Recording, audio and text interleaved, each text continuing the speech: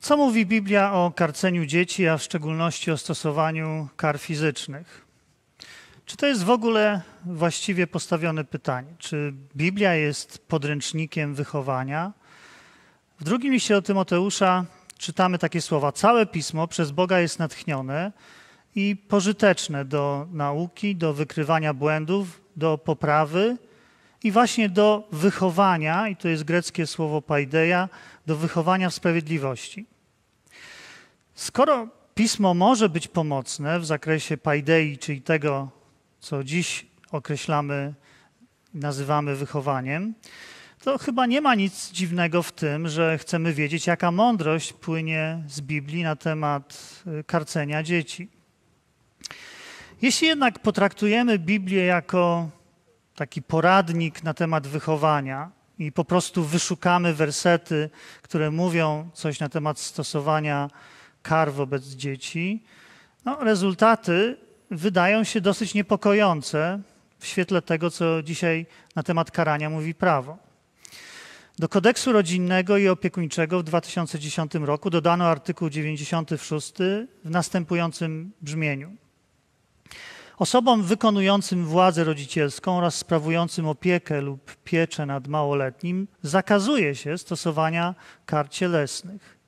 Tymczasem w Biblii znajdujemy zalecenia, które brzmią odmiennie. Spójrzmy na kilka wersetów w Starym Testamencie. W przypowieściach. Kto żałuje swojej rózgi, nienawidzi swojego syna, lecz kto go kocha, karci go zawczasu. Sińce i razy służą zmazaniu zła, rany oczyszczają zakamarki wnętrza. Głupota tkwi w sercu młodzieńca, lecz rózga karności wypędza ją stamtąd. W końcu nie szczęść chłopcu karcenia, jeżeli go uderzysz rózgą, nie umrze. Ty go uderzysz rózgą, a jego duszę wyrwiesz z krainy umarłych. W jakim sensie kara cielesna miałaby uchronić kogoś przed krainą umarłych? No, być może w tym, że ustrzeże tą karconą osobę przed popełnieniem w przyszłości przestępstwa, które mogłoby narazić ją na karę ostateczną. Y, w Księdze Powtórzonego Prawa czytamy taki zapis. Jeżeli ktoś ma syna upartego i krnąbrnego, który nie słucha ani głosu swojego ojca, ani głosu swojej matki, a choć oni go karcą, on ich nie słucha, to pochwycą go jego ojciec i matka i przyprowadzą do starszych jego miasta, do bramy tej miejscowości i powiedzą do starszych miasta, ten nasz syn jest uparty i krnąbrny, nie słucha naszego głosu, żarło kto i pijak.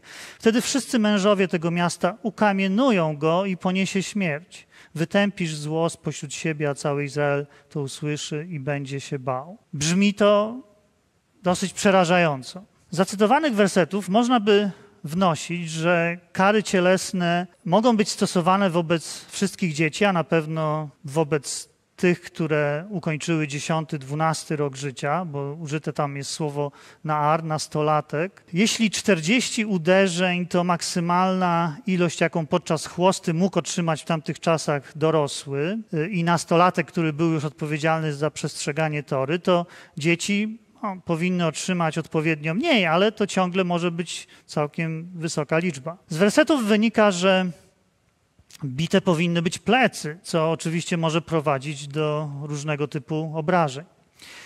Y, mogą pojawić się rany, siniaki, o których przypowieści również wspominają i wydają się uznawać za dowód właściwie wymierzonej kary. Chociaż oczywiście Biblia nie akceptuje w żaden sposób trwałych uszkodzeń ciała. Y, trudno zresztą uniknąć takich y, obrażeń, jeśli narzędziem wymierzania kary jest y, po prostu kij. Tekst przypowieści y, wydaje się zachęcać do częstego stosowania kar cielesnych, skoro ten, kto żałuje rózgi, nienawidzi swojego syna. Ponadto, mówiąc o Bożym karceniu, teksty Starego Testamentu łączą czasami rózgę z Bożym gniewem lub, lub Bożym wzburzeniem. Y, na przykład czytamy u Izajasza biada Asyryjczykowi, lasce mojego gniewu. W jego ręku jest rózga mojego wzburzenia. Y, albo w trenach czytamy: Jestem tym człowiekiem, który widział niedolę pod rózgą jego w domyśle Bożego gniewu. Gdybyśmy jednak pozostali na tak dosłownym odczytaniu tekstu biblijnego, wystąpilibyśmy przeciwko konsekwentnej tradycji odczytywania tych tekstów zarówno w judaizmie, jak i w chrześcijaństwie. Ograniczenia dotyczące kar cielesnych można odnaleźć w tradycji halachicznej, która stanowczo odradzała wszelkiej surowości w stosowaniu kar cielesnych. Na przykład w jednym z traktatów Miszny, Bawa Batra z III wieku, czytamy jeśli mus, musisz uderzyć, uderz sznurowadłem. Jest to wyraźna zachęta do umiaru, a, a, może nawet całkowitej rezygnacji z kary cielesnej, no bo właściwie jaki sens miałoby e, bicie sznurowadłem? E, nawet współcześni zwolennicy kar cielesnych, chrześcijańscy zwolennicy kar cielesnych, których poradniki były dostępne również w Polsce, nie stosują się dosłownie do wspomnianych tekstów, ale modyfikują je y, w różnych aspektach. Na przykład ograniczają wiek dzieci, których może dotyczyć kara cielesna, na przykład do wieku y, od, od do, do lat. Ograniczają ilość uderzeń do dwóch klapsów wskazują na inną część ciała, która ma być poddana karze, mianowicie pośladki, a nie Y, jak plecy na przykład, żeby nie doszło do obrażeń nerek. Wykluczają możliwość pozostawiania siniaków, obrzęków i ran, no bo to byłoby dowodem naprawdę znęcania się nad dzieckiem. Y, proponują zamiast rózgi czy kija inne narzędzie wymierzania kary, najczęściej otwartą dłoń. Uważają, że kara cielesna jest ostatecznością i powinna być stosowana rzadko tylko w przypadkach poważniejszych objawów y, rozmyślnego nieposłuszeństwa. W końcu instruują, aby karać z miłością, a nie w gniewie czy pod wpływem emocji. Dlaczego różni współcześni zwolennicy kar dokonują tych istotnych reinterpretacji tekstu, ponieważ intuicyjnie wyczuwają, że Biblia nie jest zbiorem jakichś ponadczasowych wskazówek na temat karania kogokolwiek, również dzieci. To jest tekst pisany na przestrzeni kilkunastu stuleci, podczas których Bóg starał się prowadzić jego adresatów w kierunku ograniczenia przemocy względem winowajców, niezależnie kim ci winowajcy by byli. Y, a zatem nawet ci zwolennicy kar zdają sobie sprawę, że naśladowanie tych tekstów nie może dotyczyć ich litery, ale raczej ducha tekstu biblijnego. Jezus, który jest doskonałym obrazem Ojca, Rodzica, chce, aby Boży lud naśladował doskonałą miłość Ojca w niebie. Już w przypowieściach Salomona y, widzieliśmy, że są dwie motywacje karania. Kto nie nienawidzi dziecka, bije je rózgą, ale ten, kto je kocha, karci w inny sposób. Upomina, tłumaczy, wyjaśnia, uczy, ostrzega przed złymi konsekwencjami. Jeśli kierujemy się miłością, wchodzimy na poziom karcenia bez użycia przemocy. I do takiego karcenia wprost zachęca nas już Nowy Testament. Okazuje się, że żaden z autorów nowotestamentowych nie, po, nie powtarza tych wskazówek odnośnie do dyscypliny zawartych w przypowieściach Salomona, które czytaliśmy. Chociaż przypowieści cytowane są w Nowym Testamencie 23 razy, ani razu w kontekście wychowania dzieci nie są cytowane wersety dotyczące karania przy pomocy rózgi czy kija. W tych wersetach, które przekazują wprost wskazówki dotyczące wychowania dzieci, kary cielesne nie są wymienione. Na przykład w liście do Kolosan, w trzecim rozdziale e, Paweł pisze: Ojcowie, nie, nie rozgoryczajcie dzieci swoich, aby nie upadały na duchu. A w liście do Efezjan, w szóstym rozdziale, a wy, ojcowie, nie pobudzajcie do gniewu dzieci swoich, lecz napominajcie i wychowujcie je w karności dla Pana. No dobrze, ktoś powie, e, no ale klapsy to przecież e, nie jest żadna przemoc, to nie jest bicie. No, oczywiście jest różnica między zbiciem dziecka na kwaśne jabłko, a, a dwoma klapsami w pośladki. Y, nie oznacza to jednak, że klapsy nie przynoszą żadnych negatywnych konsekwencji. Wiążą się one nie tylko z bólem fizycznym, ale często z, z przemocą psychiczną, której doświadcza dziecko. W 2002 roku przeprowadzono metaanalizę 88 różnych projektów badawczych na temat kar cielesnych, które nie prowadzą do urazów fizycznych, czyli dokładnie na temat klapsów. Y, podważa ta metaanaliza przekonanie, że klapsy aplikowane w atmosferze miłości nie są krzywdzące. W tej metaanalizie przyjrzano się badaniom opublikowanym w ciągu ostatnich 50 lat, w których sumarycznie wzięło udział ponad 160 tysięcy dzieci, czyli naprawdę ogromna grupa. Co więcej, brano w niej w tych badaniach wyłącznie pod uwagę te, które, w których faktycznie chodziło tylko o, o klapsy. I co się okazuje? U dzieci doświadczających kar fizycznych częściej obserwowano objawy depresyjne, tendencje samobójcze, wysoki stopień napięcia i lęku. Okazuje się, że emocje takie jak lęk i złość wywołane karami fizycznymi podkopują więź z rodzicem, powodują, że dziecko wycofuje się z relacji z rodzicem. Ból zwykle motywuje nas no, w naturalny sposób do, do unikania źródła bólu. Więc tutaj w tym przypadku to działa tak samo. Te dzieci, które doświadczają bólu z powodu kar fizycznych, zaczynają wycofywać się e, z, relacji z rodzicami. To z kolei oczywiście utrudnia przekazanie dziecku wyznawanych przez przez rodziców y, wartości, norm czy zasad. Ostatecznie kary fizyczne utrudniają kształtowanie się u dziecka dojrzałego sumienia.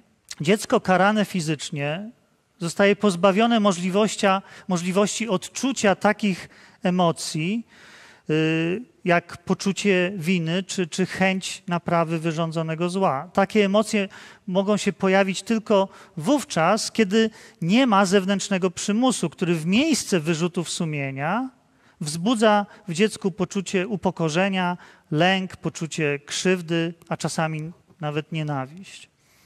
Dziecko zaczyna działać w oparciu o, o zewnętrzne konsekwencje, a nie ze względu na y, wewnętrzne przekonania.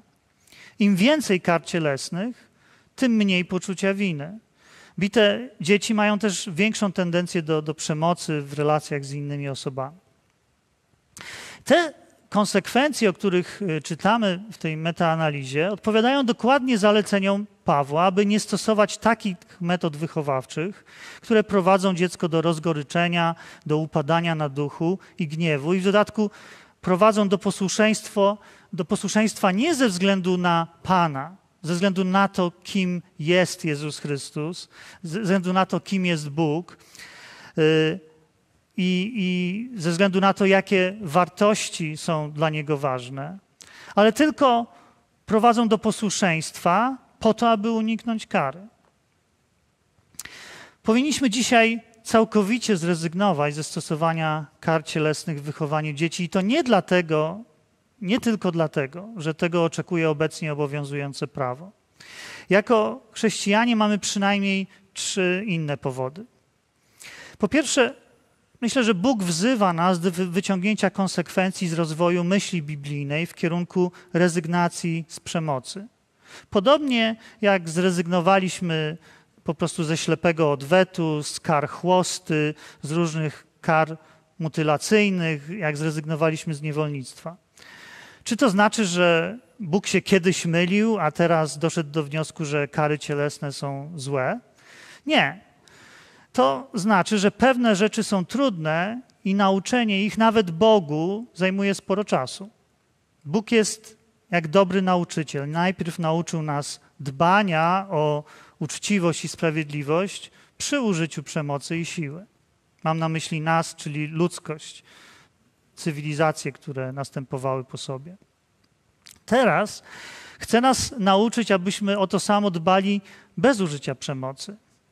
Tak, to jest trudniejsze, bardziej wymagające, ale właśnie po to Bóg dał nam swojego Ducha Świętego, którego zesłał na wszelkie ciało, aby to, co w oparciu o nasze własne siły nie jest dla nas możliwe, stało się możliwe. Bóg w każdej kulturze i w każdym czasie wzywa zawsze człowieka do drogi jeszcze doskonalszej. Co mam na myśli mówiąc zawsze? No to, że kiedy wzywał naród wybrany do stosowania kar cielesnych, wzywał do takiego ich stosowania, które było bardziej wymagające, bardziej konstruktywne, nie destruktywne i bardziej miłosierne niż to, które obowiązywało w starożytności w kulturach ościennych wokół Izraela. Kiedy Żydzi znaleźli się w otoczeniu bardziej wyrafinowanej etycznie kultury heleńskiej, poczuli, że Boży Duch wzywa ich do jeszcze większego ograniczenia użycia przemocy. Obecnie, kiedy w naszej kulturze większość ludzi nie aprobuje bicia dorosłych, ale wielu ciągle aprobuje szkodliwe, jak się okazuje, klapsy wobec dzieci, jest dobry moment, aby naśladowcy Chrystusa zdecydowali się na drogę jeszcze doskonalszą. Zwłaszcza, że te pozbawione przemocy metody wychowawcze są w długofalowej perspektywie po prostu o wiele skuteczniejsze. Po drugie, Bóg stoi po stronie najsłabszych, ignorowanych, prześladowanych i chce, aby prawo broniło ich godności i chroniło przed nadużyciami. Niestety, jak pokazują badania, nawet dwa klapsy stanowią okazję do nadużyć. Coś, co zaczyna się w teorii od lekkich klapsów, w sytuacji fizycznego zmęczenia, emocjonalnego wyczerpania, pośpiechu i zdenerwowania łatwo może eskalować do rozmiarów przemocy. Dlatego lepiej przyjąć taką formę karcenia, która y, wymaga myślenia, zatrzymania się i chroni przed pójściem na łatwiznę. Skoro sądzimy, że byłoby czymś niewłaściwym uderzyć jakąś dorosłą osobę, która naszym zdaniem myśli nieracjonalnie, ponieważ no byłoby to naruszenie jej godności. Dlaczego sądzimy, że można uderzyć dziecko, ponieważ nie da się mu czegoś wytłumaczyć? No i w końcu sposób traktowania naszych dzieci jest formą też składania świadectwa o naszym kochającym Ojcu w niebie. Jeśli Boga nazywamy naszym Ojcem w niebie, to sposób, jaki wychowujemy i karcimy nasze dzieci, powinien w jakiejś mierze chociażby odzwierciedlać to, jakim rodzicem jest Bóg. Y, powiedziałem już wcześniej, że najdoskonalszy sposób ojcostwo Boga ukazał nam Jezus. Kiedy jeden z uczniów, Filip, przyszedł do Jezusa i powiedział: Panie, pokaż nam Ojca, Jezus odpowiedział: Kto widział mnie, widział Ojca. Zatem patrząc na Jezusa, widzimy doskonałe ojcostwo Boga. A w jaki sposób Jezus traktuje dzieci? Czy powtarza w kółko, że należy wychować je w karności, bo inaczej wejdą nam na głowę? Nie. Raczej Jezusowi zależy na tym, aby mieć dobrą relację z, z dziećmi. Wydaje się, że ta relacja ma dla niego pierwszeństwo przed wychowaniem w karności. Kontrolny obraz ojca, jaki Jezus nam zostawia, to nie jest obraz rodzica wymierzającego sprawiedliwie karę nieposłusznym dzieciom, ale obraz ojca, który z wyciągniętymi ramionami czeka na marnotrawnego syna. To nie jest ojciec, który ma twarde, sztywne reguły, ojciec, który nie pozwala synowi zrobić tego lub tamtego. Pozwala mu nawet zabrać majątek i roztrwonić go. Jest tylko jedna rzecz, na którą ojciec z przypowieści o synu marnotrawnym nie pozwala. Nie pozwala na sytuację, która mogłaby sprawić, że syn zerwie z nim całkowicie relację. Chodzi o to, aby syn wiedział, że nawet najgorsze postępowanie nie może przerwać jego relacji i nie może przerwać jego relacji z ojcem. Serce ojca było zmarnotrawnym synem w dalekim kraju. Syn nigdy nie traci przychylności ojca. Ojciec cierpliwie czeka, aż syn usłyszy głos swojego sumienia. I kiedy ono pchnie go w stronę opamiętania, ojciec tam już będzie, będzie na niego czekał. To jest obraz ojca, który martwi się o syna, wygląda za nim i dostrzega go, gdy ten jeszcze jest dalek, daleko od domu i biegnie do niego, aby go objąć i pocałować. nie próbuje go zhańbić i upokorzyć, ale zakrywa jego nędzę najlepszą szatą, przywraca godność, zakładając pierścień na jego rękę i sandały na nogi. Nie pozwala na to nawet, aby syn sam siebie poniżał i, i traktował bezwzględnie. Ale jest w tej przypowieści też starszy syn, który chciałby, aby ojciec był surowy względem młodszego. Zdaniem starszego trzeba wybierać albo twarda dyscyplina, albo degrengolada moralna. Podczas gdy ojciec z przypowieści odmawia stosowania wobec młodszego syna kategorii moralnych i mówi raczej o synu, który się zagubił i odnalazł, był martwy i ożył, starszy cały czas ocenia młodszego brata w kategoriach moralnych. Nie może zrozumieć perspektywy ojca, dla którego relacja z każdym dzieckiem jest ważniejsza niż zasady. Starszy syn pewnie wolałby, aby ojciec postawił tego młodszego przed sądem. Gdybyśmy dzisiaj domagali się prawa do stosowania kar cielesnych wobec dzieci, zachowywalibyśmy się jak ten starszy syn z przypowieści o synu marnotrawnym. W XVIII i w XIX wieku najbardziej popularnym kazaniem w kręgach przepłudzeniowych było kazanie Jonathana Edwardsa grzesznicy w rękach rozgniewanego Boga. Mówiąc symbolicznie, możemy nadal głosić to kazanie w naszych rodzinach, strasząc dzieci karami fizycznymi. Albo możemy przyjąć perspektywę, do której zachęca nas Jezus, będący doskonałym obrazem Ojca, w której w tej perspektywie relacja jest ważniejsza od karności. I w niej przemiana charakteru, opamiętanie, wyznanie winy wynika z więzi, jaką rodzic ma ze swoim dzieckiem, a nie z surowej dyscypliny. Może nadszedł czas na to, aby najpopularniejszym kazaniem w kręgach przebudzeniowych było kazanie grzesznicy w ramionach kochającego Ojca. Zacznijmy od głoszenia tego kazania w naszych rodzinach poprzez stosowanie takich metod wychowawczych, które będą wzmacniały, a nie osłabiały naszą relację z dziećmi. A teraz zapraszam na krótką rozmowę na temat tego wykładu. Tomku, dlaczego chrześcijanie biją swoje dzieci i jeszcze do tego podpierają to jakimiś cytatami czy tezami z Biblii? Hmm. Jak myślisz? No myślę, że, że biją z tego samego powodu, z którego wszyscy biją, to znaczy z, ponieważ są zmęczeni, sfrustrowani, yy, a kara taka fizyczna no, jest po prostu najprostszym rozwiązaniem, tak, które nie trzeba się dużo zastanawiać, można ją szybko zastosować. Więc myślę, że, że to są powody, a, a, a uzasadniają to biblijnie. Myślę, że z takich szlachetnych, naprawdę szlachetnych pobudek po prostu no, szanują Boże Słowo, znajdują tam wersety, które sankcjonują, przynajmniej w Starym Testamencie sankcjonują Y, kary cielesne i, i wydaje im się, że, że w ten sposób też wyrażają szacunek dla Bożego Słowa. Wydaje mi się, że to wynika z takiego naszego y, sposobu czytania, najbardziej rozpowszechnionego sposobu czytania Biblii, takiego pobożnościowego czytania. Ja całym sercem wierzę w takie czytanie. Wierzę, że Pan Bóg może do mnie mówić Y, osobiście poprzez taką codzienną lekturę Biblii może mi coś konkretnego komunikować, ważnego w, w, moim życiu. Natomiast kiedy ograniczamy tylko to czytanie do takiego osobistego, odizolowanego od innych też czytania, a to nie jest czytanie wspólnotowe, a kiedy mam na myśli wspólnotowe, to też y, korzystanie no na przykład y, z komentarzy, biblistów, którzy zajmują się tekstem Biblii, y, to pewne rzeczy wydaje się, że, że nam umykają, albo po prostu wybieramy sobie te, które, które nam bardziej pasują w danym momencie.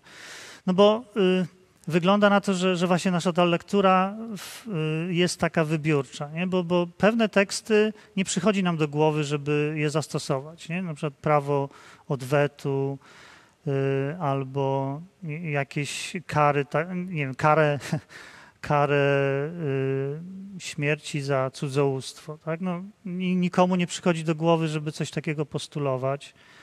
Y, albo inne takie wskazówki czy, czy przykazania, które znajdujemy na przykład w kontekście liturgicznym, tak, żeby rzadko się zdarza, żeby w jakimś kościele ewangelikalnym y, stosowano obmywanie nóg przed wieczerzą. No, a jednak to, był, to było jakieś przykazanie dla Pana Jezusa dla uczniów. Nie stosujemy go. Nie, nie zmuszamy kobiet do tego, żeby zakładały jakąś zasłonę na, na głowę, kiedy się modlą. Nie, nie, zabraniamy też kobietom mówić podczas nabożeństw. Więc y, wybieramy te, te przykazania, które akurat nam pasują. No a to akurat związane z karaniem dzieci nam pasuje, no bo tak jak powiedziałem, no to jest kara, którą można szybko wymierzyć, no ale niestety ma bardzo złe i długotrwałe konsekwencje. No właśnie, powiedziałeś bardzo ważną rzecz, że mamy taką tendencję, z jednej strony zachęcamy w kościołach hmm. nurtu protestanckiego, ewangelicznego, ewangelikalnego tak. do tego, żeby studiować samemu Biblię, mhm. ale z drugiej strony może za mało akcentujemy to właśnie wspólnotowe czytanie, to mhm. żeby posłuchać też, co ktoś inny już przemyślał tak. na ten temat. Jak myślisz, co, co jest y, powodem tego przeakcentowania, tego samodzielnego odczytywania Biblii, na nowo odkrywania go?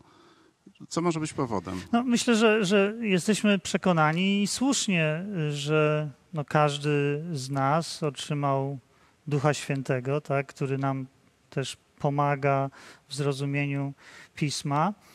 Y, no ale to nie znaczy, że teraz ten, y, że Duch Święty będzie nam pomagał też w naszej niezależności od wspólnoty. Tak? Duch Święty też chce, żebyśmy byli częścią wspólnoty, a to też polega na tym, że czasami to, czego ja nie dostrzegam w piśmie, dostrzeże ktoś inny, moja siostra, mój brat. Y, ktoś też, kto ma może inne powołanie akurat, ma nauczycielskie powołanie i, i szuka i, i, dokopuje się i próbuje się zastanowić, dlaczego na przykład są takie różnice między y, przykazaniami w Starym Testamencie i w Nowym Testamencie. Właśnie, zahaczyłeś o, o moje kolejne pytanie, które mam na myśli, a mianowicie dlaczego y, czytając Biblię można odnieść wrażenie, że czytamy o dwóch różnych bogach hmm. w Starym i Nowym Testamencie i i dlaczego jest tak duży kontrast? Jednak jest, no, nie można temu zaprzeczyć. Tak duży kontrast w podejściu do karania fizycznego między hmm. Nowym a Starym Testamentem. Jak myślisz? Tak, no to, to, jest, to jest problem i, i myślę, że y, my próbujemy to w jakiś sposób ominąć, ale, a jeżeli, ale jeżeli nasza lektura Biblii ma być konsekwentna i też całościowa, a nie tylko właśnie taka wybiórcza, poszczególne wersety, no to musimy mieć jakiś sposób na, na odpowiedź na, na to pytanie. Ja, ja zasygnalizowałem w wykładzie, że pewne rzeczy są tak trudne, że nawet Panu Bogu zajmują trochę czasu. Zwłaszcza jeżeli Pan Bóg nie chce nas zmuszać do czegoś, tylko chce, abyśmy, żebyśmy byli do czegoś przekonani. Ja wierzę, że y, niezależnie od tego, w jakiej kulturze żyjemy i w jakiej kulturze żył człowiek, Pan Bóg zawsze próbował wezwać człowieka do takiego postępowania, które było doskonalsze niż to, w jaki, w które, do którego był przyzwyczajony w danym momencie. Y, więc kiedy czytamy Biblię, musimy pamiętać, że, że to jest ten tekst, który no, był skierowany, to, to jest biblioteka właściwie tekstów, skierowana do ludzi, którzy żyli w zupełnie innej kulturze niż nasza, w której były inne standardy, i wtedy Pan Bóg wzywał ich do tego, żeby zrobili coś więcej, tak? Próbowali w jakiś lepszy sposób chronić te wartości, na, które, na których Panu Bogu zależało. No ale nie mogli jeszcze ich chronić w sposób doskonały. Tak? Myślę, że Pan Bóg jest takim dobrym pedagogiem, y, próbuje nas y, rozciągać, ale nigdy tak mocno, żebyśmy pękli przy tym y, rozciąganiu. Tak? Znaczy, próbuje nas zachęcić do tego, żebyśmy bardziej zatroszczyli się o, o pewne rzeczy, y, na których mu zależy, ale zdaje sobie, zdaje sobie sprawę, że w danym momencie jesteśmy w stanie zrobić jeden czy dwa kroki. Ale mija pewien czas, ta wspólnota y, nauczy się postępować y, według wskazówek Bożych na jakimś poziomie i później nagle znajduje się w innej sytuacji. Pan Bóg mówi, dobrze, to teraz robimy krok dalej. Tak? Najpierw y, mieliście zadbać o sprawiedliwość i, i y, o to, żeby y, na przykład nauczyć się prawa proporcjonalnego odwetu. Teraz mam na myśli w ogóle karanie, nie, nie, nie dzieci, ale mm, Pan Bóg mówi, dobrze, spróbujmy w jakiś sposób ograniczyć przemoc. Więc jeżeli już musicie się mścić, to niech to będzie proporcjonalna zemsta, tak? Oko za oko, ząb za ząb. Okej. Ale później y, Pan Bóg mówi, dobrze, a teraz bym chciał, żebyście w ogóle zrezygnowali z przemocy, tak? I przychodzi Pan Jezus, mówi, słyszeliście, co powiedziano, oko za oko, za... a ja wam mówię, żebyście miłowali swoich wrogów, miłowali, przebaczali. Więc y, wydaje mi się, że to, to wynika z pewnej pedagogiki Pana Boga i ta pedagogika się nie kończy w momencie, kiedy zostaje spisana ostatnia księga Nowego Testamentu. Myślę, że Pan Bóg chce, żebyśmy wyciągali pewne wnioski, w jaki sposób On prowadził Boży lud w stronę doskonałej miłości i teraz zastanowili się, ok, to może dzisiaj, kiedy żyjemy w kulturze, która już nie akceptuje na pewno bicia y, dorosłych y, i na pewno nie, nie akceptuje je, y, no, wielu ludzi już nie akceptuje bicia dzieci. Może my powinniśmy robić krok dalej i teraz zastanowić się, ok, jakie są inne y, rodzaje przemocy, które mogą też wyrządzać krzywdę, tak? Na przykład mm, przemoc taka psychiczna, tak? Te, y, ona też może być szkodliwa. Ja chciałem cię o to zapytać. Mhm. Co Biblia mówi na temat przemocy psychicznej? Bo tego nie, nie poruszyłeś Aha. podczas swojego wykładu. Tak, Mnie to tak. bardzo interesuje, a jak wiemy, rodzice, którzy są bezsilni czasami, mm. ta bezsilność, no. mi, mają to poznanie, czy to odkrycie, że jednak Biblia nie zachęca do bicia mm. fizycznego dzieci, do wychowywania w, tak. poprzez kary cielesne. No, mogą, ich bezsilność może ich doprowadzić do tego, że no. zaczną stosować przemoc, nawet nieświadomie, przemoc tak. psychiczną, bo nie sądzę, żeby ktoś kto jest narodzony na nowo, jest chrześcijaninem, tak, świadomie chciał. chciał. to robić. Mm. Y, I chciałbym cię poprosić, żebyś, y, może pamiętasz jakieś fragmenty, albo w ogóle co, co uważasz, mm. że Biblia mówi na temat przemocy psychicznej? Y, no, myślę, że Biblia wiele razy wskazuje nam na to, że język może być takim narzędziem przemocy, na, narzędziem wyko, wyrządzenia zła drugiemu człowiekowi. Tak? W przypowieściach o tym czytamy, że, że język potrafi wyrządzać e, zło. E, w liście Jakuba czytamy, że język jest tym takim organem, który ciężko, ciężko opanować i tym samym językiem chwalimy Boga i jednocześnie przeklinamy e, drugich ludzi czasami, a co gorsze, czasami no, robimy to w odniesieniu do naszych dzieci. Może nie, nie przeklinamy, ale w jakiś sposób krytykując ich, ciągle mówiąc, że robią coś nie tak, że są jakieś tak, niegrzeczne, tak, albo tępe, tak, jeżeli nie potrafimy, nie mamy cierpliwości, żeby coś dziecku wytłumaczyć, to to, to niestety powoduje, że takie poczucie własnej wartości dziecka no, jest maksymalnie niszczone wtedy, w tym momencie.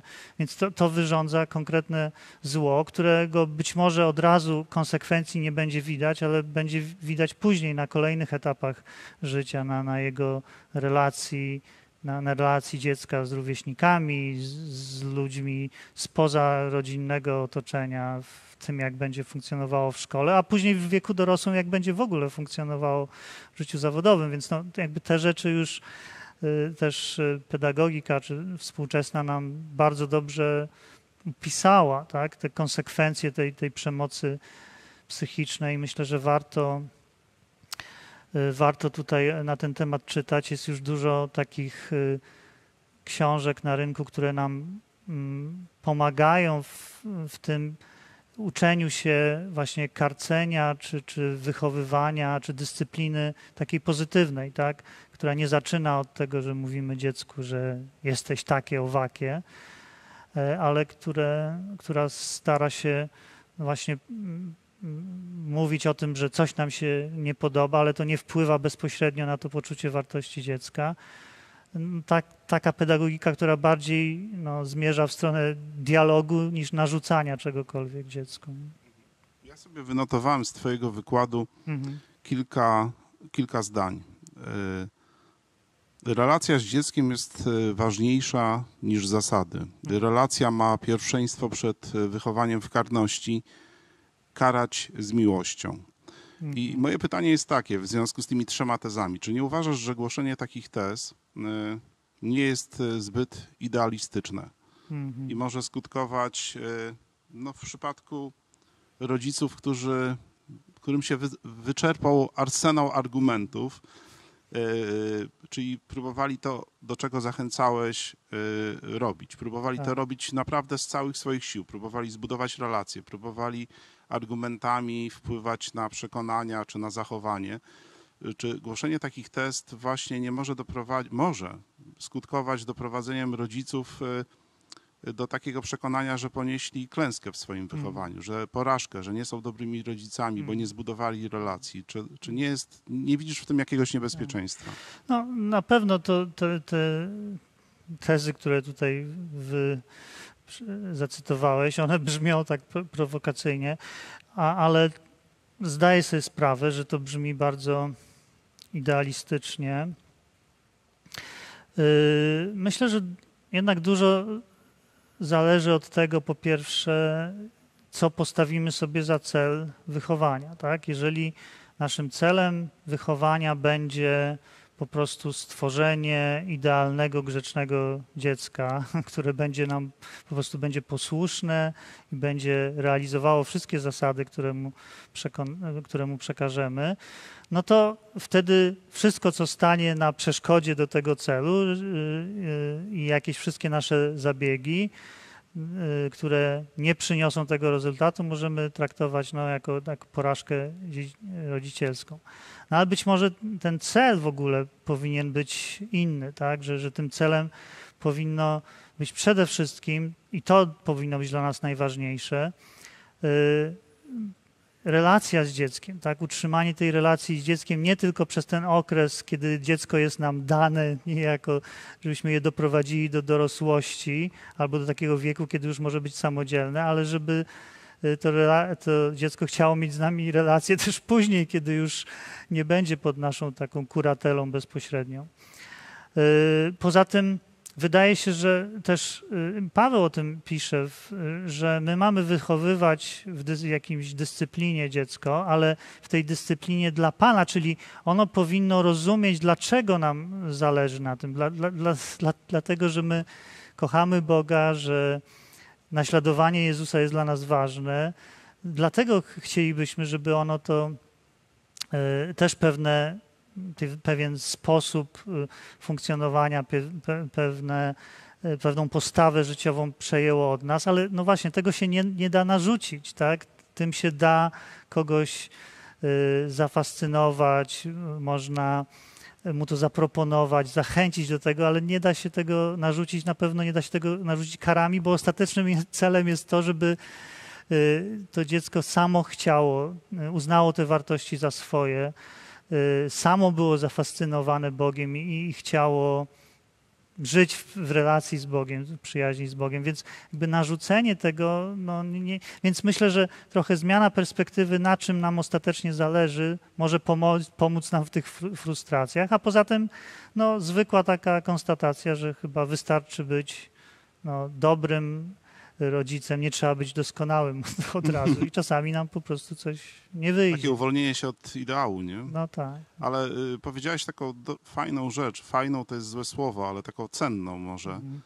y, że tak naprawdę w tej relacji między dzieckiem a nami to, to się spotyka, spotyka dwoje ludzi. Hmm. Jeżeli, jeżeli na, my jako rodzice, y, ja też mam trójkę dzieci, ty masz Ja mam dwójkę, dwójkę, ty masz tak. dwójkę, więc y, wiem o czym mówisz. Hmm. Jeżeli, jeżeli my jako rodzice zrozumiemy, że to jest człowiek po tej drugiej stronie, a nie tylko nasze dziecko, Tak. ono jest naszym dzieckiem, ale przede wszystkim jest człowiekiem i my z tym człowiekiem budujemy relacje nie tylko poprzez karanie, nie tylko poprzez zasady, a może w ogóle bez karania Tak. i, bez, i, i, i narzucania takich bardzo konkretnych zasad przemocowych szczególnie, Hmm. no to, to może nas trochę uwolni i, i jeżeli będziemy myśleć w takiej perspektywie całego życia tego człowieka, a nie dziecka, nie? No dokładnie. No wydaje mi się, że właśnie do tego do tego nas y, zachęca całe przesłanie biblijne, tak bardzo mocno to jest podkreślone w Ewangeliach. Nie? Ten, ten obraz, jaki Jezus zostawia nam Ojca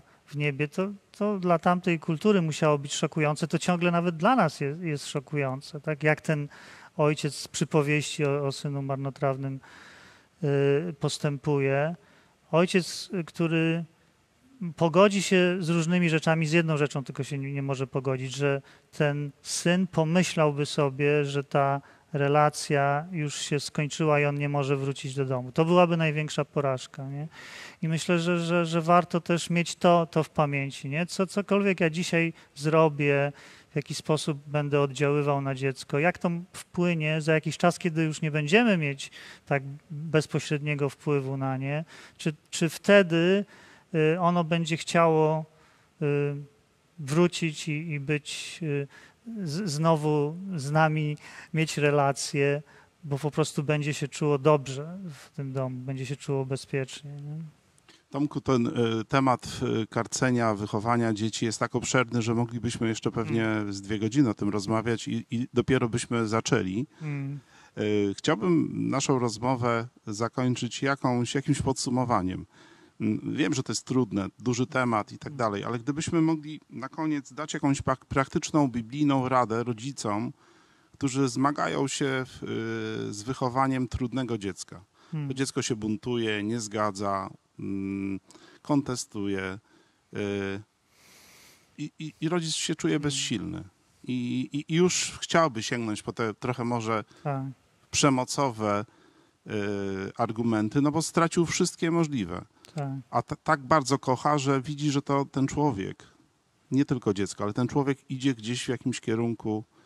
No, nie chcę używać za dużych słów na zatracenie, bo to jest bardzo mocne słowo, no ale załóżmy, że już rodzic ma takie myśli. tak, że Jeżeli nic nie zrobię, to, to on może przegrać życie, to może to życie potoczyć się w jakimś złym kierunku. Jaką biblijną radę można dać komuś takiemu? E, Nie wiem, wydaje mi się, że, że chyba po prostu trzeba mieć zaufanie, że ten model wychowawczy, jaki Pan Bóg przyjął wobec nas, że, który wymaga dużo czasu, cierpliwości i tak dalej. Pan Bóg nas też do niczego nie, nie zmusza, nie straszy nas karami y, czeka, aż my się pewnych rzeczy nauczymy. Czasami pewnie y, tęskni i, i smuci się z tego powodu, że tak długo to trwa. Więc, więc pewnie my, my też tego wszystkiego do, doświadczymy, ale z drugiej strony nie chce, y, nie chce nas zmusić do tej relacji, tak? nie, nie wykręca nam ręki. Więc myślę, że taka rada, żeby y, mieć y, taką nadzieję i taką cierpliwość, chociaż w jakiejś części, jaką Pan Bóg ma wobec nas, to, to, to jest y, coś, od czego możemy zacząć. A, a druga, no to na pewno też szukać pomocy ludzi, którzy y, no, znają się na, na wychowaniu dzieci, ponieważ są pedagogami. y, Oni też mogą nam pomóc, w jaki sposób właśnie rozszerzyć ten repertuar naszej dyscypliny, żeby ona była bardziej pozytywna niż, niż negatywna. Myślę, że możemy się od siebie nawzajem uczyć, więc warto brać udział w takich e, seminariach czy jakichś szkoleniach dla rodziców, szukać tego y, właśnie, kiedy jeszcze jest czas, nie? kiedy już nie musimy, y, tak powiem, płakać nad rozlanym mlekiem, że, że coś zrozumieliśmy za późno, ale właśnie kiedy jeszcze nasze dzieci są małe, y, nauczyć się y, tego, w jaki sposób możemy je dyscyplinować no, według tego modelu, który Pan Bóg nam daje. E, Dziękuję. Myślę, chcemy Was zachęcić, tych, których słuchacie, przez te wypowiedzi Tomka, moje, mniej moje, moje bardziej pytania, do tego, żeby nie być samemu i w czytaniu Biblii, Hmm. i interpretacji i w trudnościach wychowawczych. Nie musicie być sami. Zachęcamy tak. was do tego, żeby korzystać z tego, czym jest Kościół. Hmm. Czyli właśnie ze wspólnotowości Kościoła. Hmm. Dzięki.